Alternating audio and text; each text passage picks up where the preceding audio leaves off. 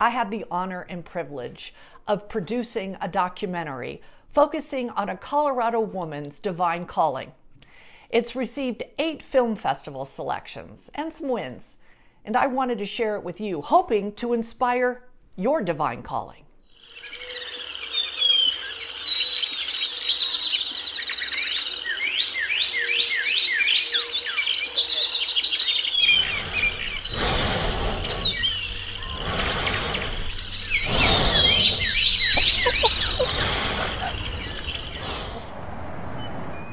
It's very hard to compare kids in Rwanda with the kids in America. It's totally different. There is so much what the kids of Rwanda go through, which the kids in America don't go through.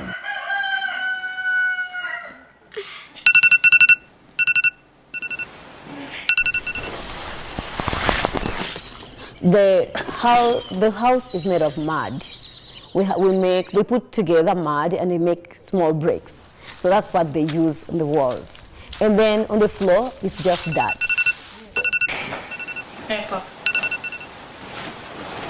The kids in Rwanda, it's really hard for them because I don't think here kids in America go to fetch water before they go to school. Do they? No. Kids, what do you guys want for breakfast?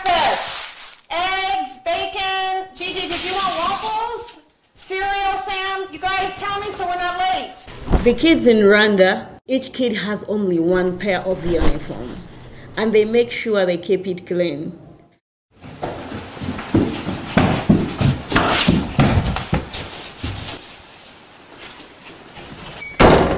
This is good. Mhm. And they have to go to school with an empty stomach. I'm, I don't know if the kids here go to school with an empty stomach. It's really hard. I lived this life. I know how it feels. There's so many days I went to school without a meal.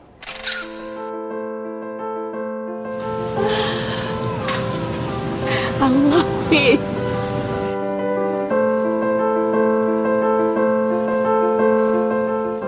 Welcome to America. Thank you. You're very welcome. Would you like a sample?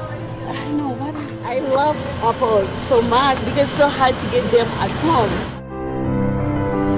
You don't need to go in the garden to dig and wait for the harvesting time. I'm glad you're here. How long have you been here? Um, 12 days. 12 days. This is culture shock, isn't it? It is. It's amazing. I bet. Here in America, kids don't go to school without food, and they don't have one meal a Come on, day. you guys, we're gonna be late.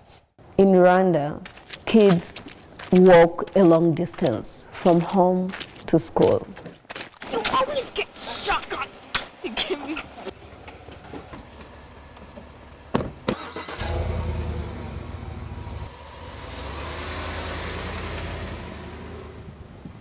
I still can't believe that you let him get front. He always gets front. I know some kids who walk a whole one hour to school and then another hour back home. By the time they get home, it's already dark. And they have to go to fetch water. They have to wash the dishes. They have to do homework on a candle, which someone is, like, is counting minutes for them to use because this candle is budgeted for a whole week. What these children do not have in material things, they more than make up for in spirit. And that enduring spirit inspires William and Cavini to make this long trip to and from school, as they have done for the last seven years.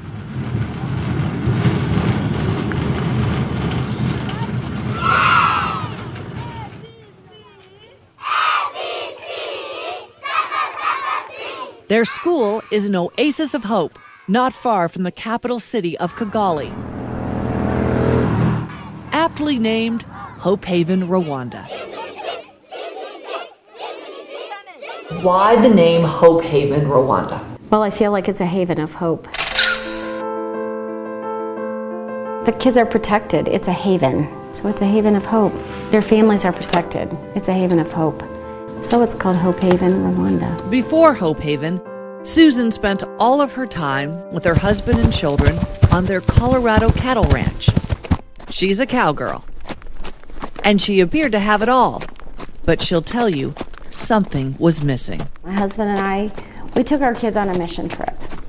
And you know, it seems expensive. It seems like, you know, are you really accomplishing anything? But what it accomplished in me was it started building up this love for other people that I didn't even know. To me, she's a savior.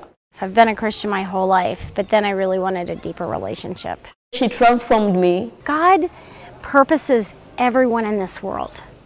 We all have different purposes. And so you can only release those purposes into this world by giving people an opportunity. I always wanted a place where I can be a voice. And I did what I thought I could do to help, but frankly, it was really frustrating. But God started replacing my frustration with dreams of what could be how to lift up the family, how to educate kids, how to do it well, how to do it with excellence. Just as she has done with every aspect of her life, especially her vision for Hope Haven. And here she comes with her dream of helping this community. I mean, when she employed me, it never felt like a job. This is the sentiment of each and every person involved at Hope Haven, who will tell you this is much more of a divine calling. God opened a way for me to speak for these kids. Here in Rwanda, on the outskirts of the capital city of Kigali. There wasn't a single school in probably a 15 mile radius. But that didn't stop founder Susan Hollern, who remembers early classes under this giant acacia tree. But what you have to imagine is not only did we have this tree, but all of this was bush. We had six foot tall grass. William and Kavini were there from the beginning. You were under the tree Yes, seven years ago. yes. When we are under the tree, we were not very happy because it was not looking nice. And now the buildings are very big and there's no rain falling on us. But it took two years to build any buildings here. Excitement is an understatement as local workers and parents of students join together for a common vision a school, a community, a family. The last five years, we've erected 38,000 square feet. Every worker is from our immediate community. So they have learned bricklaying skills, they've learned cement skills, they've learned roofing skills. All the skills that it takes to actually get a job somewhere else. That tree still stands at Hope Haven's entrance, a tribute to overcoming incredible odds, entering a society not accustomed to outsiders being there, let alone caring. What we found is that children would miss school. Nathan Kempton is the original director of Hope Haven. And we had no way of knowing what was happening to these children. If I see a child has missed two days, I go home and I talk to the parents.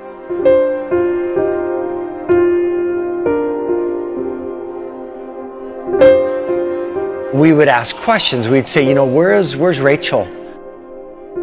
I see why the child is not coming to school. We sit and talk about it. We find a solution. Since we've been in existence, we've had three children die that were our students because nobody told us. And you're just like, why did somebody tell us this child was sick? And they would just say, well, we didn't think anybody cared. Want to know where this child is. Does this child need a, a lift to the hospital? Do we just need to get medication? What do we do to save this child?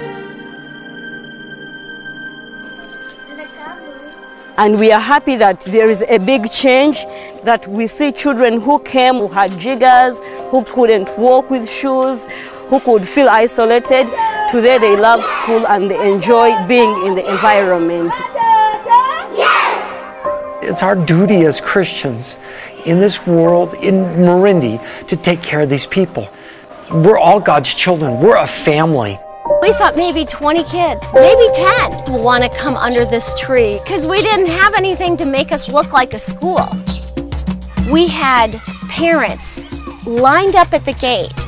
Kids were under the tree. Then it was apparent that we needed a tent because it would start raining. By May, we had 97 children. And we've grown ever since. And it's the opportunity for these kids to have a future. If we don't teach, these kids will just be back in the fields like their mom and dad.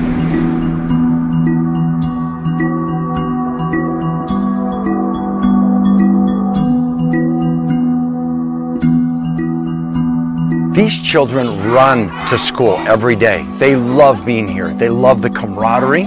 Also, we feed them. That was a lesson we learned early on in 2012. The kids were so hungry, they couldn't focus, their heads were laying on the table, they were holding their stomachs. Their attention span wasn't there. They were there was illness that would run rampant through the kids. So within a week or two, we actually started a porridge program. The next step was is teaching them about hygiene. The kids were sick, and so then we started looking at their hands and their hands were filthy. So we started hand washing. The kids would arrive, we'd line them up, they'd all wash their hands before they even went into school. The tree also symbolizes the future. Oh boy, now I'm really dreaming. We're on our way to high school. I thought I would be done at sixth grade. That was going to be a big accomplishment. Now we're going to go to 12th grade. And of course, it serves as a constant reminder that even small seeds when nurtured, can grow into greatness. I want to become a doctor. I want to be the, the manager of the World Bank. I wish to be a teacher when I grow up. And if national test scores are any indication, they'll be whatever they want to be. Because every student here taking that test scored in the top 3%, making Hope Haven the top performing school in all of Rwanda yes, it's true. Okay. Can you believe it? I can. You guys are the smartest cookies in the whole country. cookies? Oh, yeah. I don't think we are cookies. But smart cookies they are. Uh, thank you, Susan, for building this beautiful Hope Haven. Thank you for treating us very well, and thank you for loving us, and we love you so much. I wanted to thank her for taking good care of us in this village and this town. I'm thanking her because she did a great job. And the winning recipe is exactly what you'd expect in any top performing school. Large, beautiful classrooms, a library, dedicated teachers. We actually have teacher interviews here. There's a third party that comes in and helps conduct an interview, watching what's going on in the classroom. We can have 20, 30, 25 or 30 people that we're, we've gotten down to the final interview, and we haven't hired one. We start all over. If we don't have the great teachers that we want, willing to do the Hope Haven way, then we just simply start over. And then the other thing that we do to really reinforce learning, because teachers coming in, even though they're good teachers, they still don't know exactly what we're doing in the classrooms and how we're integrating other kinds of learning. So we always pair a teacher that has been at Hope Haven, that has been trained by these different people, who is learning and progressing, they are paired with another qualified teacher, not an intern, but a second qualified teacher so we actually have two qualified teachers in a classroom of not more than 45 children. And the very latest technology. Plus, things you don't often see, like healthcare and delicious homegrown meals. These kids are eating rice and beans, but with the tomatoes from our garden, the dodo from our garden, the eggplant from our garden, zucchini from our garden, carrots from our garden, all these you know, we're providing so much nutrition and it's fresh. So the parents have actually hoed the gardens, planted the gardens, watered the gardens, picked the food, and now they're serving it to their children in effect. I mean, how inspiring for them that they can actually provide for their children. And so I think it's really important. Sure, Hope Haven provides these meals, but they feel like they're a very big part of what their children are getting. I have two girls in this school. I come here and digging and do something and get school fees for my children. And that's called dignity. To fully appreciate the significance of the school, you must understand the violent history of Rwanda. Just 25 years ago, the families of these children were aligned on either side of a mortal combat a state sponsored genocide where the ruling Hutus slaughtered nearly 1 million people of the Tutsi minority over a 100 day period. And my father told me, everyone is dead. I don't have a family. You'll never see your grandmother. You'll never see your uncle. You'll never see your auntie. I lost everyone. So when we go back, you also die. So my parents were refugees, and I was born as a refugee. I, I was raised in a refugee camp, and it was so hard to live in Uganda. And this is the hardest part about living in Uganda as a refugee, because when people were killing each other in Rwanda, the Hutus killing Tutsis, there is a river, it's called River Nyabarongo. It could carry dead bodies to Uganda.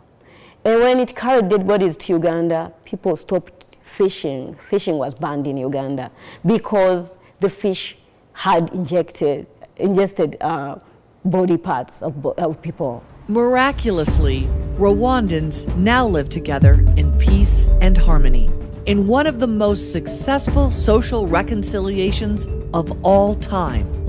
This supernatural story of forgiveness is what inspired Susan It was really put on my heart to be a haven of hope for the community and the families, not just the kids.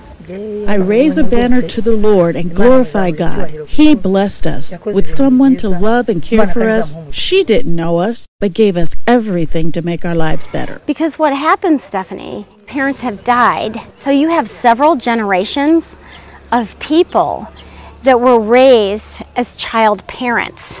They raised younger siblings, not to mention just the abject poverty. It's really amazing, and we are so happy that God has changed everything here and also changing the community. Where do you get all the money to do this, Susan? It's remarkable. That is private donations. I mean, I have to say, I get nervous about it. But you know, the anxiety stops because we have a God of abundance and many generous donors answering the call. The impact that we have here is bigger than any impact that we have in any other organization we work with. Brian and Christine Best have been supporting and visiting Hope Haven from the beginning. And despite all of the good they've done, they know there is so much more to do. She doesn't have a home. Her father is a drunkard who comes home once in a week or twice. That means this little girl always go home by herself and just finds herself in the house just alone. She had a little sister and the baby passed away because they didn't have anything to eat. They didn't have where to sleep. Everything was so hard for her. How do you process it? That's why we're here. Hope Haven is um, their hope and it really truly is a haven because we, we just saw where she lives and um, no child should live that way.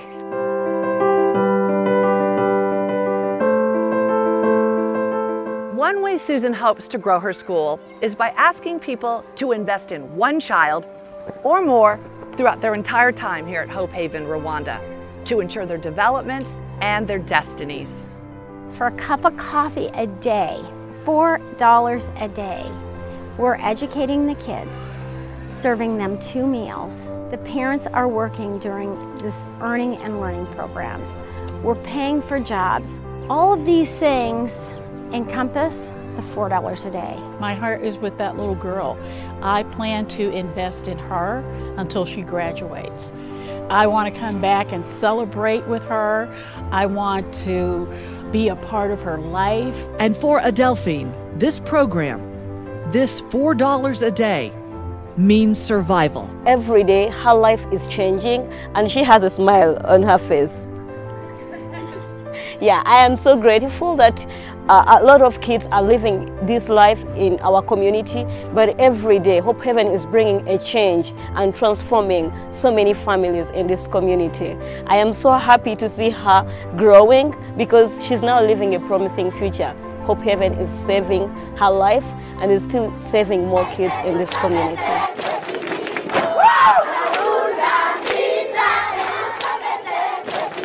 And despite a temporary shutdown during a global pandemic, the Earning and Learning program not only survived, but is thriving with a brand new high school built on the adjacent land. In the background here, you'll see a whole construction site. So this is going to include a 36 classroom secondary school and a boarding facility for 960 students. That was then. This is now. The secondary school is complete. Grades 7 through 12. 185,000 square feet, eventually housing and educating nearly 1,000 students. That's in addition to the original nursery and primary schools with another 1,000 children. A full 17 acres of opportunity and hope. And William is still here. Now a freshman in high school planning to be a doctor. I want to grow up and do medicine so that I can able to, do, to treat those diseases that uh, people are suffering from. To say this tree, the shelter for that very first class, branched out is an understatement. So next time you're watching your kids do homework, remember William and all of the students at Hope Haven also doing their homework under slightly different conditions, but dreaming just as big. I don't know if my dreams will come true, but I want to be a president. A what? A president. A president of Rwanda? Yes. Why wouldn't you be? You've got all the right stuff. yeah.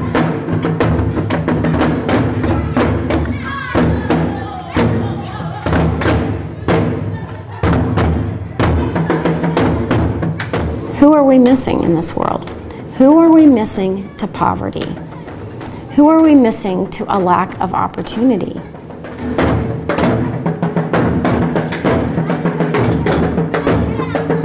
We're all the same in Jesus' eyes. You know, just because somebody is poor doesn't mean they're dumb. I guarantee the kids are so much smarter than I am.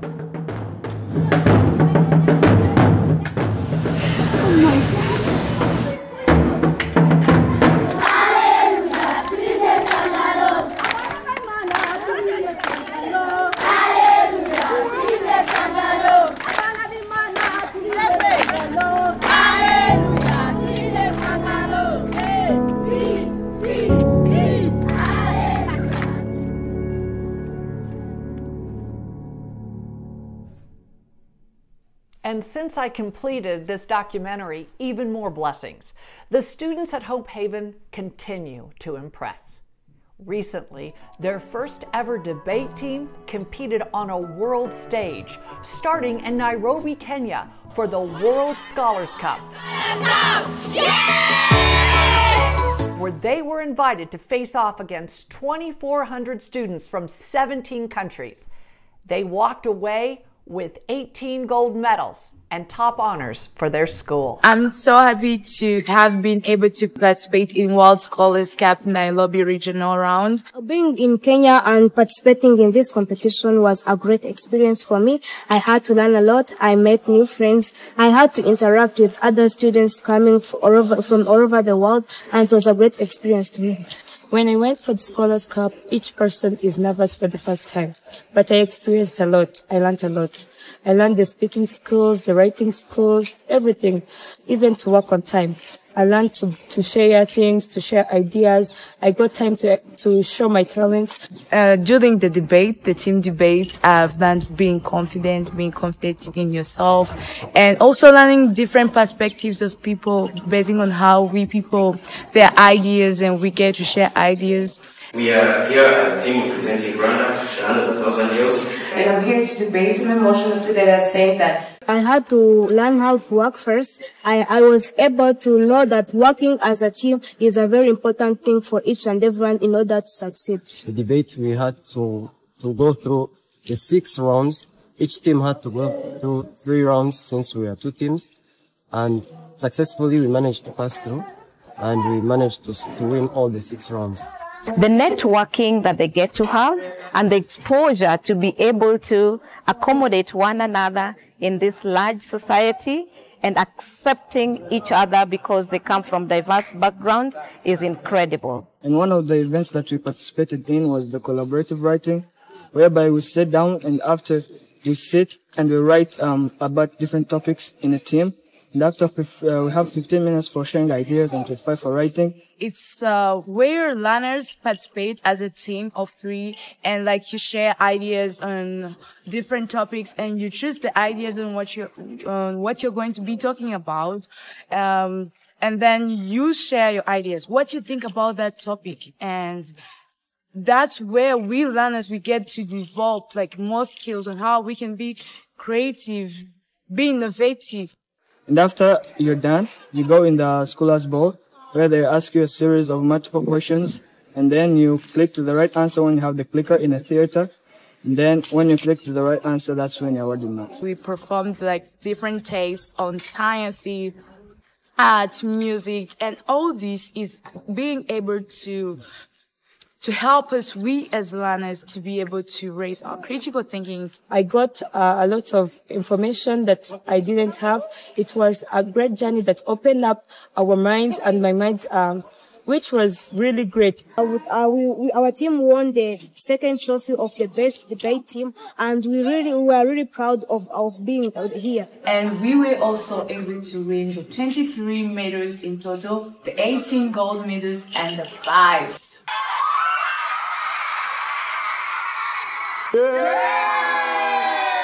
Allow me to take this wonderful opportunity to thank so much the staff, administration, and most importantly, to thank our founder, Madame Susan Horan, for supporting us. We wouldn't make it without her support. So I take this opportunity to thank her so much for supporting us. After Nairobi, they went on to Qatar and then came here to the United States to compete at Yale University. And while the students were shining brightly all over the world, construction continued on the brand new sports complex at Hope Haven, complete with the new soccer field and stadium seating, basketball, volleyball, and pickleball courts with locker rooms. The visitors area of the campus is also expanding to host even more people. And I highly recommend putting a visit to Hope Haven, Rwanda on your bucket list. If only everyone could experience what it's like when someone decides to step into the darkness and turn on the light of Christ. The families and students I met in Rwanda shared with me how they thank God for sending Susan Hollern from Denver, Colorado, to give them a hope and a future through more love than they ever thought possible.